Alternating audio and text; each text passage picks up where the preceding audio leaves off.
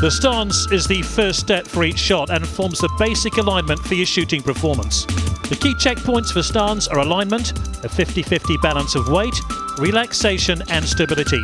Your stance is a key foundation to your shot. Taking time to find the option that works for you is critical.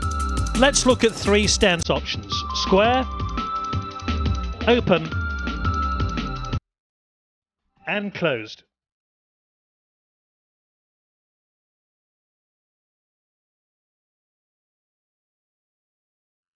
We'll focus on the square stance first. This option is the most natural and easiest to replicate consistently, making it ideal for archers at all levels.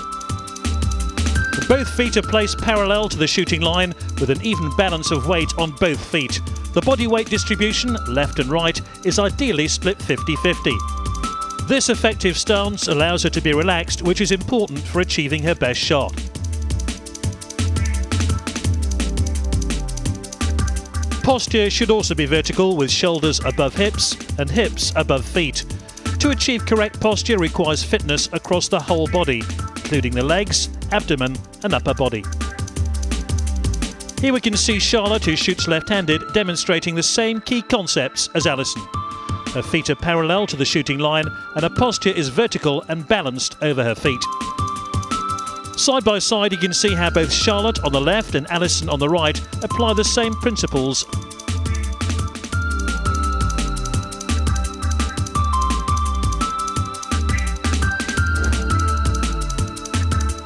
The open stance provides archers with an increased sensation of their back and shoulder muscles, but requires more practice to replicate than a square stance.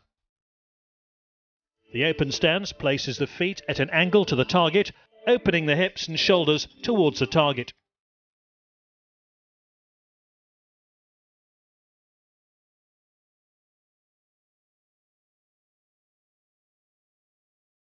An even balance of weight on both feet is required and a stable vertical posture.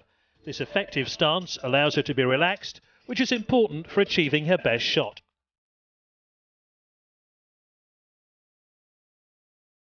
The vertical posture places the shoulders above the hips and the hips above the feet.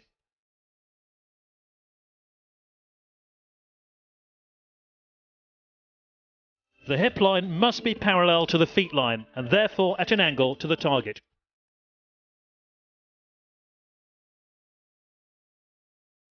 As seen in this clip, the hips should not be allowed to twist around towards the target.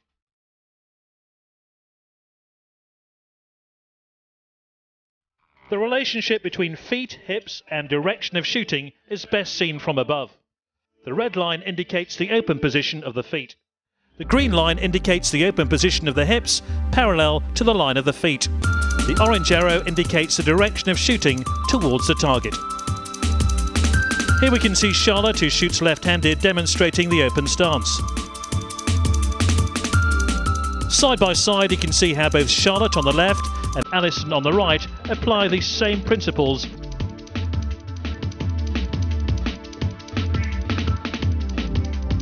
Finally, let's look at the closed stance. This stance helps to position the shoulders into the preferred alignment, but can cause the bowstring to contact the body at full draw and be deflected on release. The feet are positioned to close the hips and shoulders. The foot nearest the target moves forwards, and the foot furthest away from the target moves backwards.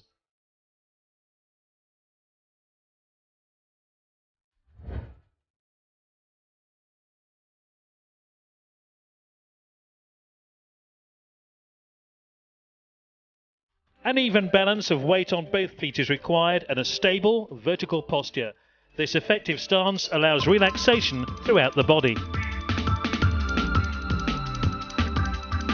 The vertical posture places the shoulders above the hips and the hips above the feet.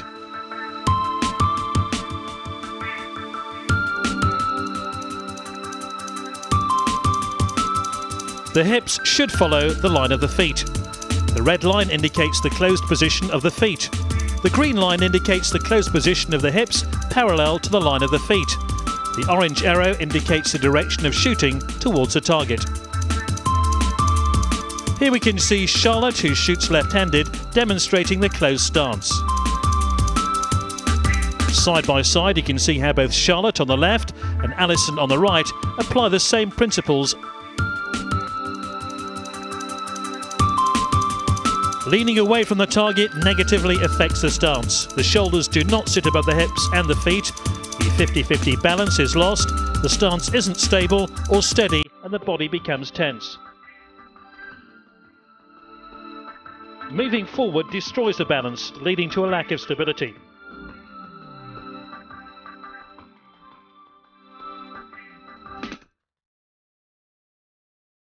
As does leaning forward.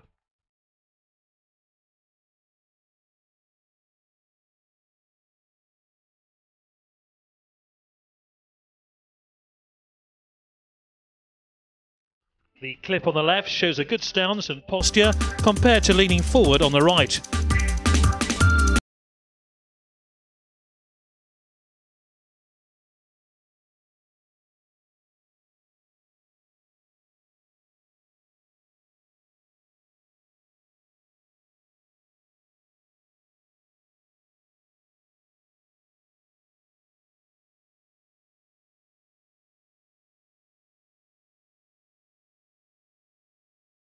Taking the time to find the right stance option for you is critical. Your whole shot is dependent on your stance and posture.